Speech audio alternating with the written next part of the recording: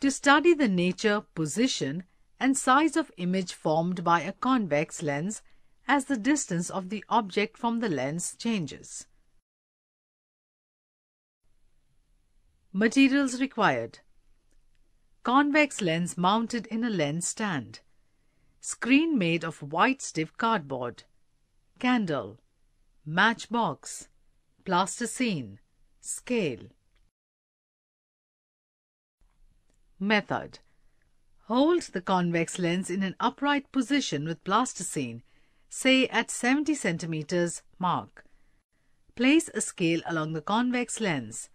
On the left-hand side of the lens, place a lighted candle such that it is at a distance of about 70 centimeters from the lens. On the right-hand side of the lens, place the white screen in an upright position. Move the screen back or forward till a well-defined image of the candle flame is formed. Note the characteristics of the image. Now move the candle 10 centimeters towards the lens. Again, obtain the image of the candle by moving screen back and forward. Note the characteristics of the image. Repeat the experiment four more times by moving the candle forward by 10 centimeters in each case. You observe that as the candle is moved towards the lens, the size of the image becomes larger. A stage comes when the size of the image of the candle flame is equal to the actual size of the candle flame.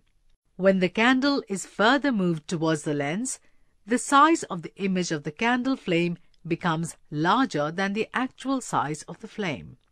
In all the above cases, the image of the candle flame is real and inverted. Conclusions 1. When an object is fairly far away from the convex lens, a real inverted and diminished image is formed. 2.